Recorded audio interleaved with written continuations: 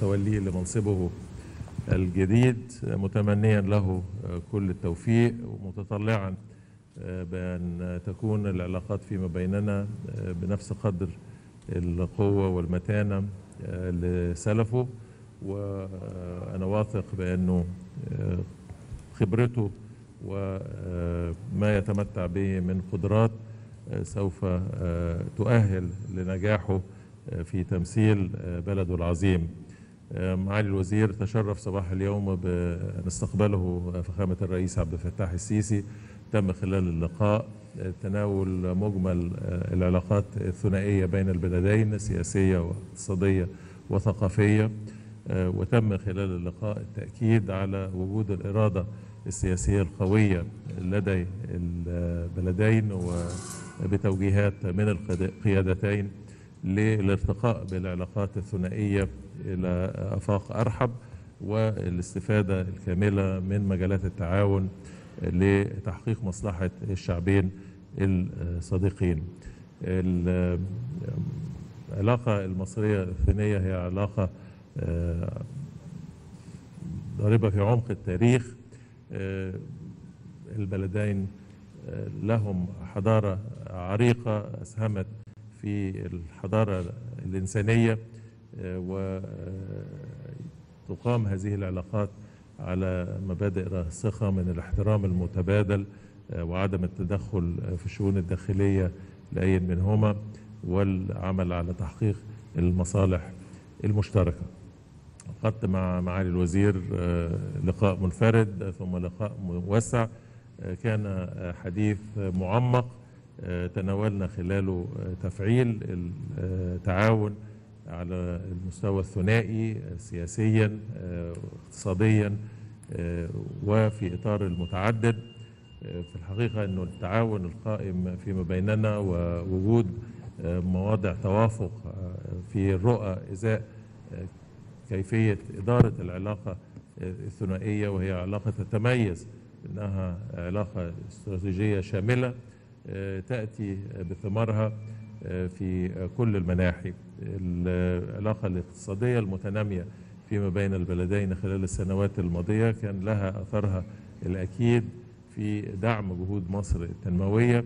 وأنا واثق من أن استمرار هذه العلاقات سوف يدعم استمرار ارتقاء مصر بخططها التنموية بدعم من الصين في الإطار الاقتصادي والشركات الصينية والقدرات الصينية وأيضا ما أعربت عنه الصين من استعداد لاستمرار تعاونها مع مصر في إطار الصناعات وفي إطار نقل التكنولوجيا وفي إطار العمل على إدارة منظومة الاقتصادية الدولية وفقا لقواعد من العدالة. ومراعاة لمصالح الدول النامية. من ضمن المواضع الهامة للعلاقة هو نطاق السياحة. ومصر تعتمد على السياحة في إطار ما تمثله للناتج القومي المحلي. ومصر ترحب بالزيارة واتساع عدد الزوار المواطنين الصينيين. أصدقاء أعزاء تربطنا بهم كما تحدثت علاقة تاريخية عميقة. على المستوى السياسي طبعا مصر كانت أول دولة عربية وأفريقية تقيم علاقات دبلوماسية مع الصين سنة 1956 واستمرت هذه العلاقة على أسس من العلاقات الدولية المستقرة الساعية لتحقيق السلام. ومن ثم فتطلعنا بزيادة عدد السياحة وترحيب مصر بالسائحين الصينيين. توفير كل سبل الراحة لهم والتأمين وأيضا إتاحة الفرصة لهم للاستمتاع بما توفره مصر من احتضانها لثلث آثار العالم والحضارة المصرية القديمة. فالحقيقة أنه ما نتج عن تأكيد هذه الزيارة للرغبة المشتركة لتوثيق العلاقة للارتقاء بها للعمل من خلال الآليات القائمة. لاستمرار التواصل على مستوى القيادتين وعلى مستوى وزيري الخارجية والأجهزة الحكومية المختلفة لتحقيق المصلحة المشتركة وتدعيم السلم والأمن الدوليين.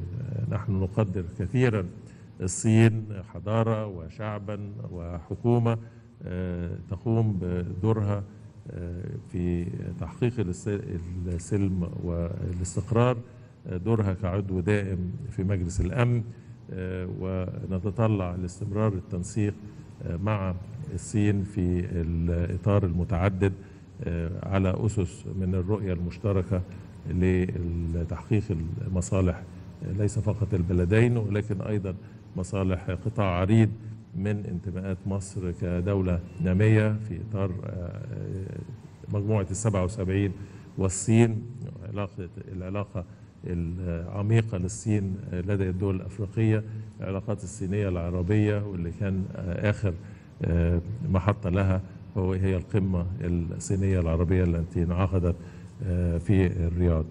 مرة أخرى برحب بمعالي الوزير وأتمنى له إقامة مريحة وموفقة في القاهرة وأتطلع للفرصة القادمة وقد وجه معالي الوزير لي الدعوة لزيارة الصين. وإن شاء الله سوف نحدد توقيت ملائم للجانبين حتى يستمر التواصل على كافة المستويات فيما بيننا وأيضا تطلع للقاءات القادمة التي سوف تجمع القيادتين في ظل العلاقة الشخصية العميقة التي أصبحت تربط فيما بينهما وأهمية استمرار صدور توجيهاتهما للمؤسسات الحكومية لتفعيل كافة مجالات التعاون. شكرا جزيلا.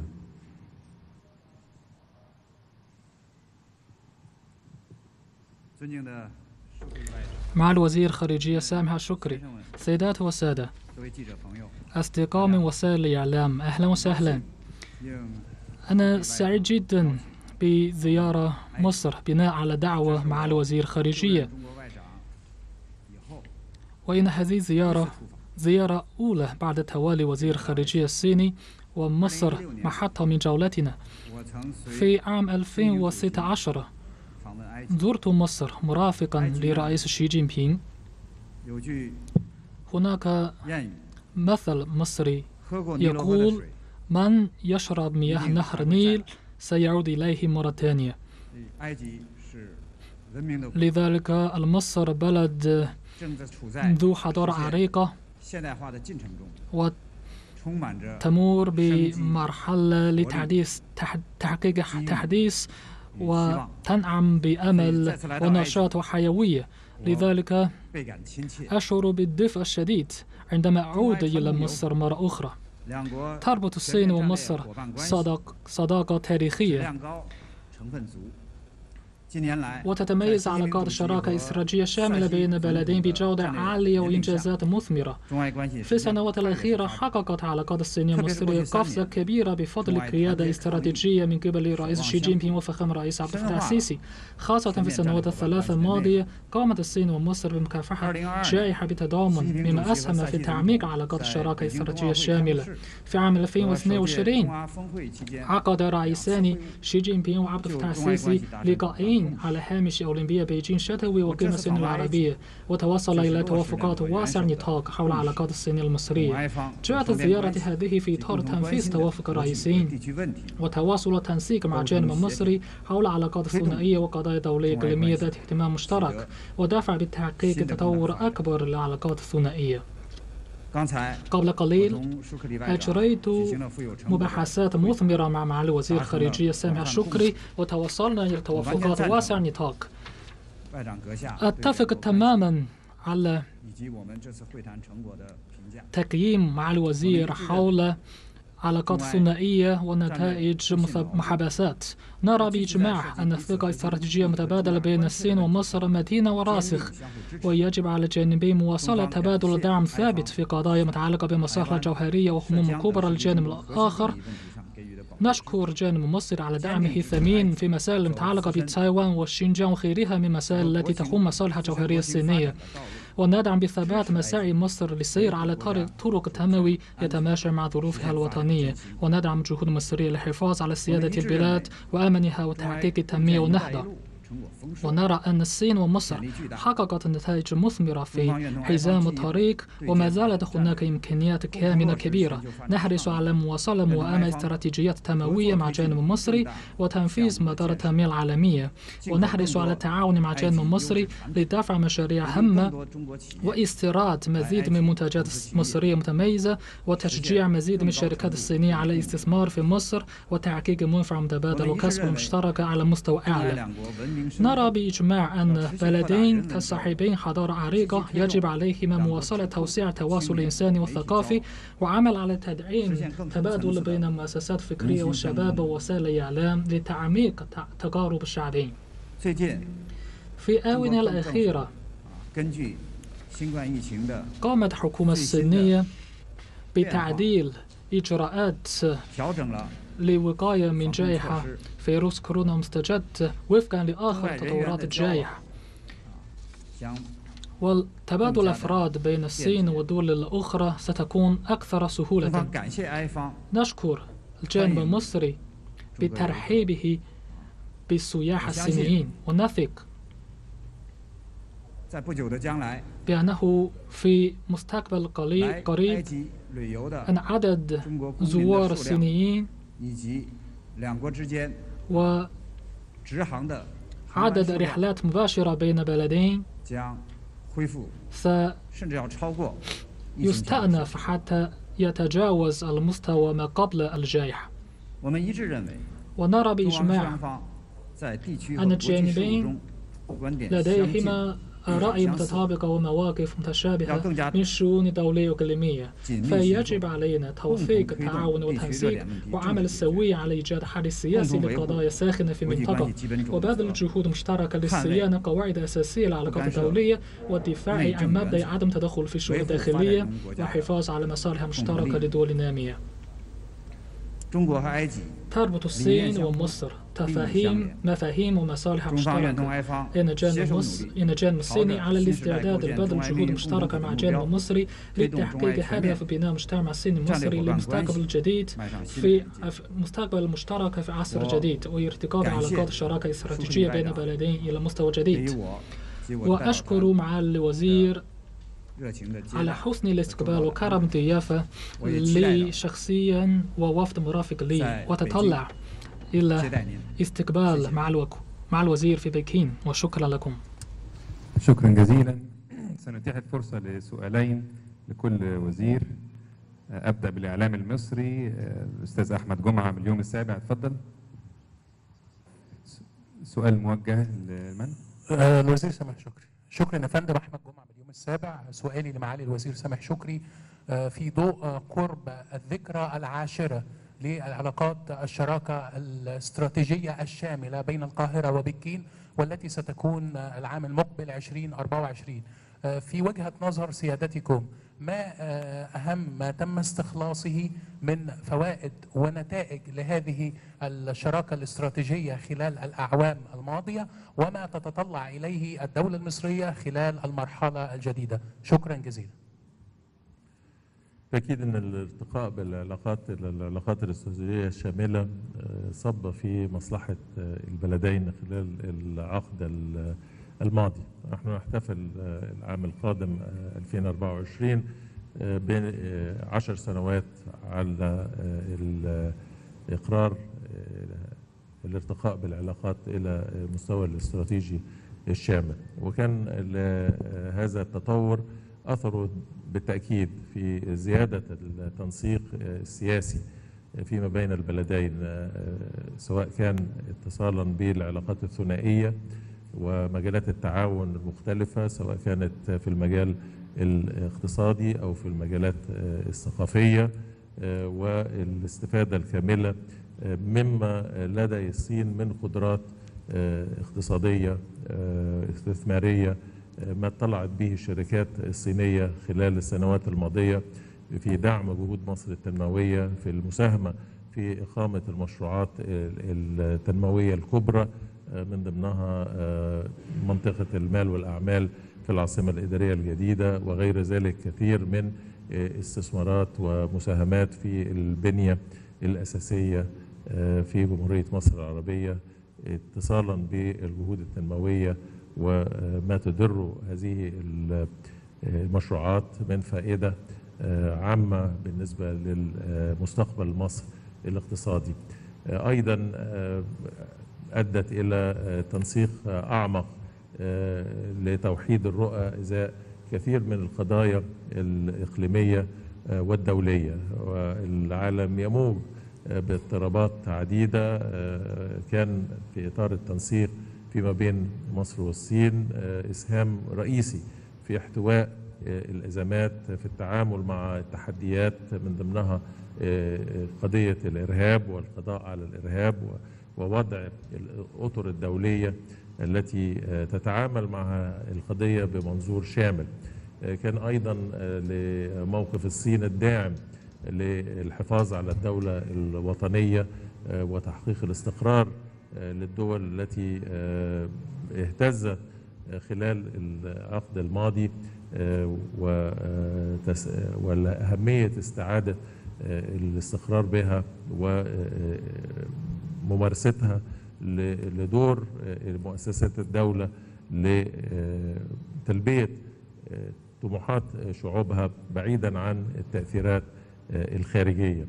التنسيق في إطار المنظومة آه، العلاقات الدولية وأسس التي آه، تحكم هذه العلاقات سواء كان الاعتداد المشترك والتأكيد على مبادئ ميثاق الأمم المتحدة وضرورة التعامل مع القضايا خارج نطاق ازدواجية المعايير وإنما التشبث بالقيم والمعايير آه، الراسخة التي تحقق العدالة آه، وتدير العلاقات آه، بعيدا عن الصراع العسكري أو التدخل في الشؤون الداخلية. آه، نحن نتطلع لاستمرار الارتقاء بالعلاقة إلى مستويات آه، أرحب والاستفادة الكاملة المشتركة لما آه، تؤتي به هذه العلاقة من فوائد عديدة آه، الصداقة والثقة المتبادلة في إطار التعامل هو الأساس الراسخ لعلاقات صحية وهذه الثقة متوفرة إلى درجة مطلقة. لأننا آه، نتشارك آه، مع آه، الصين وننظر إلى ما التجربة الصينية بكل تقدير واحترام وإعجاب لما حققته الصين من طفرة ليس فقط اقتصادية ولكن مكانة دولية مرموقة تؤهل بأن تكون داعم لأصدقائها ومن ضمنها بالتأكيد مصر. نتيح السؤال للجانب الصيني. آه، ممثل آه، مجموعة الصين للإعلام. تفضل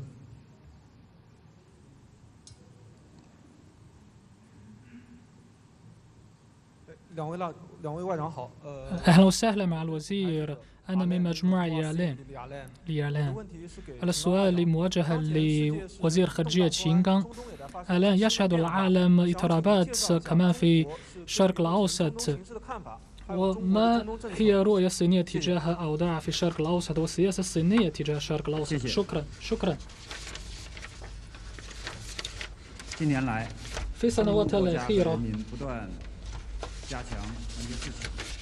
تقوم دول الشرق الأوسط وشعوبها بتقوية ذاتية وتحقيق النهضة والتنمية والدعوة إلى التبادل بين حضارات والحفاظ على عدل الإنصاف يعتبر قوة مهمة في تعدد أقطاب في العالم. من جهة أخرى ما زال هناك عناصر كثيرة عدم استقرار متأكد وكثير من الدول تشهد اضطرابات وما زالت هناك تدخل من الخارج سببا مهما لتخريب الاستقرار في المنطقة. فندعو إلى ضرورة احترام سيادة البلاد وأمنها ووحدة سلامها وتشجيع دول المنطقة لإيجاد حل سياسي يتفق مع وقائع الظروف المعنية عبر حوار وتشاور لقضايا الساخنة وندعو إلى تقديم مزيد من دعم إيمائي ومساعدات إلى دول المنطقة لمساعدة دول المنطقة لمواجهة التعديات الناتجة من الأزمة الغذاء والطاقة ويجب حشد جهود المكافحة الإرهاب تفاديا. لتفشي قوى إرهابية متطرفة باستغلال الفوضى ويدعو جانب الصيني دول خارج المنطقة إلى احترام سيادة دول الشرق الأوسط وعدم التدخل في الشؤون الداخلية لدول المنطقة. وتطبيق تعددية الأطراف الحقيقية بدلا من اللجوء إلى تنمر أو حادية الجانب وإثارة الصراعات. ويجب احترام تاريخ والثقافة والتقاليد للشرق الأوسط بدلا من صنع فوارق الحضارية بما يضخ طاقة إيجابية في تعزيز أمن واستقرار في الشرق الأوسط. دولة الصين تدعم جهود الشرق الشعوب الشرق الأوسط لاستكشاف طرق تنموية بإرادتها مستقلة وتدعم مساعي دول الشرق الأوسط لحل قضايا أمنية عبر التضامن ونعمل على التعاون مع دول الشرق الأوسط لبناء حزام طريق وتنفيذ مبادرة التنمية العالمية وسعي وراء إلى التنمية والنهضة وبذل جهود لتطبيق مبادرة أمن العالمي وندعو إلى إقامة إطار أمني مشترك وشامل وتعاون مستدام في الشرق الأوسط بما يسهم بحكمة الصينية وحلول الصينية في إيجاد حل سياسي لقضايا ساخنة ساكنة في منطقة. ونعمل على تواصل الحضاري مع دول الشرق الأوسط للدفاع عن تنوع حضارات في العالم بشكل مشترك. إن مصر دولة كبيرة ذات وزن كبير ومهم في الشرق الأوسط وهي تلعب دورا مهما في حفظ السلام أمن وتنمية في الشرق الأوسط. لدى الصين ومصر مواقف متطابقة وآراء متشابهة حول قضايا الشرق الأوسط ونحرص على تعزيز التواصل والتنسيق مع الجانب المصري وعمل السوية على لعب دور بناء في تعزيز أمن وأمان دائمين في الشرق الأوسط. شكرا. شكرا جزيلا. فعلا. آه، أستاذة سارة الشرقاني الدستور اتفضلي. سؤال موجه لمن؟ سؤالي معي وزير الخارجية سامح شكري. الأعوام الماضية شهدت زخم متزايد في العلاقات ما بين مصر والصين وكذلك كان في العديد من الزيارات المتبادلة بين مسؤولي الجانبين. ما هي أوجه التقارب في محددات السياسة الخارجية بين البلدين؟ وكذلك إيه اللي ممكن تقدمه أو ما الذي يمكن لكل من مصر والصين أن يسهم به في تخفيض حدة التوتر العالمية والتعامل مع التحديات الجيوسياسية والاقتصادية؟ شكرا. العلاقات ال- المصرية الصينية ومدى إسهامها في آه، بلورة رؤية مشتركة آه، تعزز من آه، فرص الاستقرار والسلام. هو أمر ثابت وتحرص البلدين على توظيف الآليات المتوفرة لديها والاتصالات العميقة.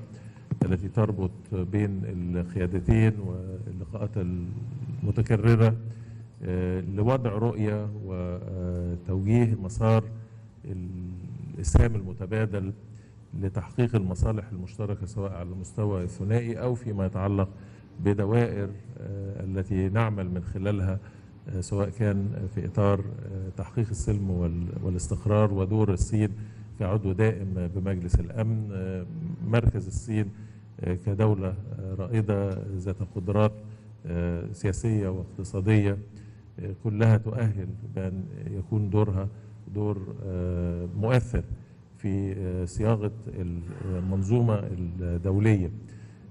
العمل على أسس واحدة من تحقيق العدالة والمساواة وإدارة العلاقات الدولية على قواعد مستقرة متوافق عليها. تعلي المبادئ التي أتى بها ميثاق الأمم المتحدة وهي مواقف نتبادل فيها التأييد ونعمل بالتنسيق لاستقرار هذه المنظومة الدولية بعيدا عن الانتقائية وبعيدا عن ازدواجية المعايير. احترام المتبادل عدم التدخل المصالح المشتركة العمل وفقا لقواعد ومنظومة دولية تراعي العدالة وتراعي حاجة أيضا مجموعة غالبية دول العالم النامية لتوفير الدعم وتوفير الاستقرار ودعم جهودها التنموية. أمر حيوي دائما كان لدور الصين دور الصين مؤثر في تعضيد الجهود في هذا الشأن.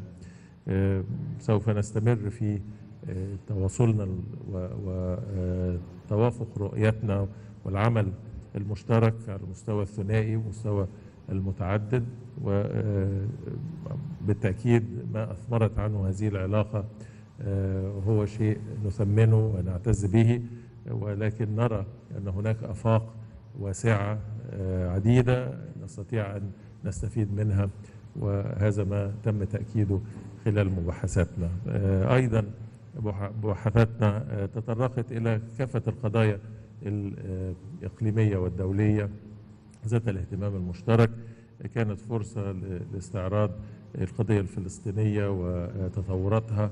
الهدف والصين دائما كانت في طليعة الدول التي تدعم الحقوق المشروعة للشعب الفلسطيني وحل الدولتين وإنهاء الصراع تحقيق الاستقرار في المنطقة واستعادة الدولة الوطنية لقدراتها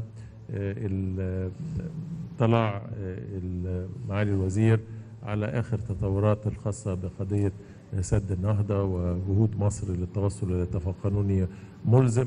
ونرى في كل هذه القضايا تفهم من قبل الصين واستعداد للإسهام في حل القضايا العالقة. تأكيد أنه الأزمة الروسية الأوكرانية وأثرها سواء السياسية أو الإقليمية أو التي نتج عن الأوضاع الاقتصادية فيما يتعلق بالتضخم وزيادة الأسعار والتأثير على الأمن الغذائي وأمن الطاقة كلها كانت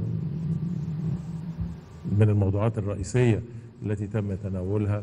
ونجد أيضا بأنه لدى الصين ومن خلال التعاون مع الصين قدرة على تجاوز ليس فقط مصر ولكن أيضا المنطقة والعالم الدول النامية هذه الآثار من خلال التعاون على أرضية من العدالة والمراعاة للاحتياجات المواطن الرئيسية.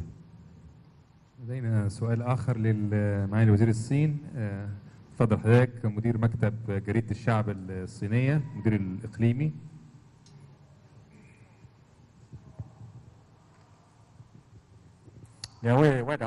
أهلا وسهلا مع الوزير. سيد خوان بيجاو من صحيفة الصينية الشعبية. في الآونة الأخيرة؟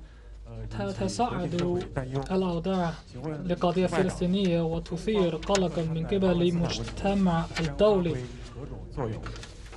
وكيف يرى الجانب الصيني اللي ينظر الجانب الصيني إلى القضية الفلسطينية وما هو دور الصين في هذه القضية؟ شكرا. إن القضية الفلسطينية مسألة جوهرية لقضية الشرق الأوسط وتتعلق بالسلام والاستقرار في الشرق الأوسط وتتعلق بعدل والإنصاف دوليين. في الآونة الأخيرة أكد رئيس شي جين بينغ على أن الظلم التاريخي الذي يعاني منه الشعب الفلسطيني لا يجوز الاستمرار إلى أجل غير مسمى ولا يجوز مساومة على حقوق الوطنية المشروعة وإن تطلعات لإقامة دولة مستقلة أن لا تقبل رفضا.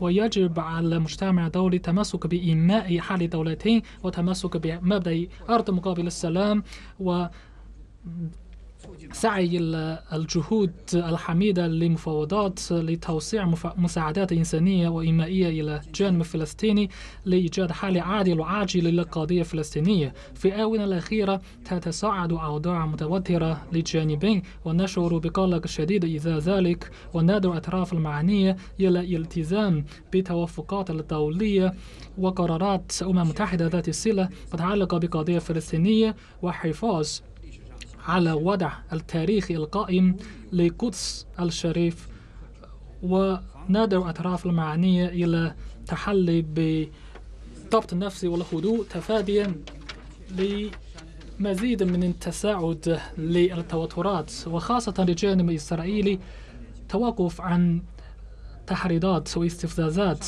تفاديا لأي تحرك أحادي للجانب قد يؤدي إلى تفاقم الأوضاع. في الأسبوع الماضي تجاوب الجانب الصيني مطالب المعقولة للجانب الفلسطيني وأصدقاء العرب لدعم الأمم المتحدة ومجلس الدولي للعب دور مطلوب. في قضية فلسطينية من خلال عقد الجلسة العاجلة والطارئة حول هذه القضية. إن السبب الجذري لتفاقم الأوضاع الفلسطينية والإسرائيلية يرجع إلى تعثر مفاوضات السلام وعدم تنفيذ حل الدولتين ويجب على المجتمع الدولي زيادة الشعور بإلحاح ووضع هذه القضية في مقدمة جدول الأعمال ودفع المفاوضات السلام بين الجانبين والتعامل مع قضية الوضع النهائي لقدس. وإيجاد حل عادل وعادل وعاجز للقضية الفلسطينية على أساس حل الدولتين ويجب على الدول الكبرى ذات وزن تحمل المسؤولية مطلوبة. نحن نشيد إشادة عالية بدور المصري مهم في دعم قضية فلسطينية عادلة ونحرص على تعزيز تواصل وتنسيق مع الجانب المصري لبذل جهود دؤوبة من أجل إيجاد حل عادل وعاجل للقضية الفلسطينية. شكراً.